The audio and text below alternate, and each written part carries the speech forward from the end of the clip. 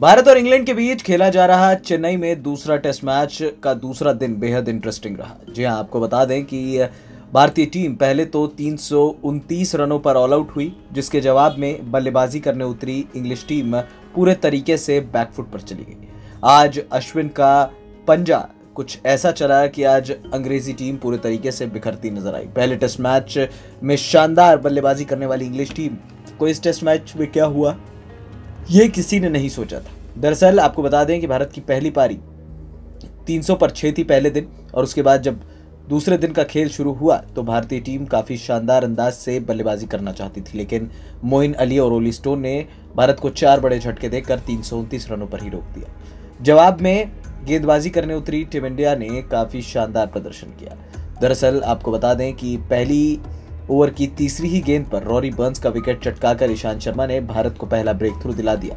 और इसके बाद डॉम सिवली का विकेट अश्विन ने आठवें ओवर में दिला दिया। इसके बाद सबसे खतरनाक जो रूट ग्यारहवें ओवर की तीसरी गेंद पर अक्षर पटेल की तेज गेंद को स्वीप मारने के चक्कर में आउट हो गए, जिसके बाद ये साफ़ समझ में आया कि अब इंग्लैंड की पहली पारी बिखरती हुई नज़र आ रही है। इससे पहले लंच से ठीक पहले डैन लॉरेंस का विकेट लेकर अश्विन ने चौथा झटका अंग्रेज़ों को दे दिया। इसके बाद दूसरे सेशन में बल्लेबाजी करने उतरी इंग्लिश टीम को संभलने की ज़रूरत थी, लेकिन बेन स्टोक्स का विकेट चटका गए यहाँ पर रविचंद्रन अश्विन। ये उनकी इस पारी का तीसरा विकेट था। अश्विन की घातक गेंदबाजी के आगे पूरे तरीके से फेल होते नज़र आ रहे थे इंग्लिश बल्लेबाज। हालाँकि ओली पोप ने 22 रन ज़रूर बनाए, लेकिन मोहम्मद सिराज की गेंद पर वो आउट हो गए।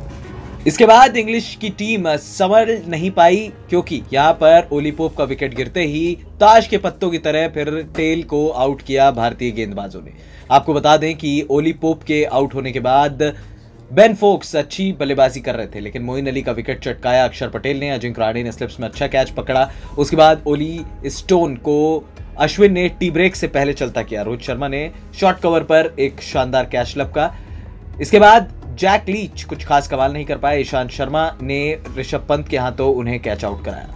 बड़ी बात यह रही कि स्टुअर्ट ब्रॉड, जो कि अच्छी बल्लेबाजी कर सकते थे, उनके रूप में इंग्लैंड का आखिरी विकेट गिरा और उसके बाद इंग्लैंड की टीम 134 रनों पर ढेर हो गई। आपको बता दें कि भारतीय टीम ने दूसरे दिन का खेल खत्म होने तक शानदार चौवन रन बोर्ड पर लगा दिए हैं। और भारत का महज एक ही विकेट गिरा है, जिसके बाद हम ये कह सकते हैं कि फ़िलहाल भारतीय टीम कमांडिंग पोजीशन पर है। भारत को दो सौ उनचास रनों की लीड पूरे तरीके से मिली हुई है। वहीं आज अगर भारत की गेंदबाजी की बात की जाए तो इंग्लैंड की पहली पारी को समेटने में सभी गेंदबाजों का योगदान अच्छा था। ईशांत शर्मा ने पाँच ओवर, एक मेडन, बाईस रन देकर दो विकेट झटके। वहीं दूसरी तरफ़, रविचंद्रन अश्विन ने पाँच विकेट झटके। अक्षर पटेल ने दो विकेट झटके, जिसमें रूट का अहम विकेट था। और उसके बाद यहाँ पर मोहम्मद सिराज को भी एक विकेट मिला, जिसकी बदौलत भारतीय टीम ने अंग्रेज़ों को बैकफुट पर ढकेल दिया और टीम इंडिया पूरे तरीके से कमांडिंग पोजीशन पर आ गई। जवाब में बल्लेबाजी करने उतरी रोहित शर्मा और शुभमन गिल की जोड़ी ने 42 रन जोड़ दिए थे पहले विकेट के लिए, लेकिन शुभमन गिल खराब शॉट खेलने के चक्कर में यहाँ पर आउट हो गए अपना विकेट गवा बैठे। जैक लीच ने उनका विकेट निकाला एलबीडब्ल्यू आउट हुए रिव्यू ज़रूर लिया, लेकिन उसके बावजूद वो यहाँ पर आउट हो गए। और उसके बाद ज़बरदस्त तरीके से भारतीय टीम ने दो सौ उनचास रनों की बढ़त फ़िलहाल बनाई हुई है। अब देखना होगा कि यहाँ पर भारतीय टीम किस तरीके से इस मैच को खेलती है, क्योंकि तीसरे दिन बहुत ज़्यादा इंपॉर्टेंट चीज़ें होने वाली हैं। भारतीय टीम अगर एक अच्छी लीड या फिर पूरा तीसरा दिन खेल जाती है तो एक बात तो तय है कि अंग्रेज़ों की हार फिर सुनिश्चित हो जाएगी।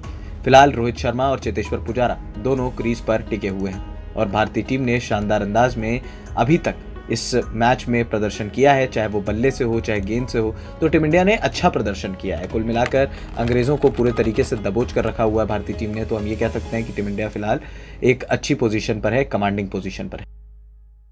एएनपी न्यूज़ रूम की रिपोर्ट।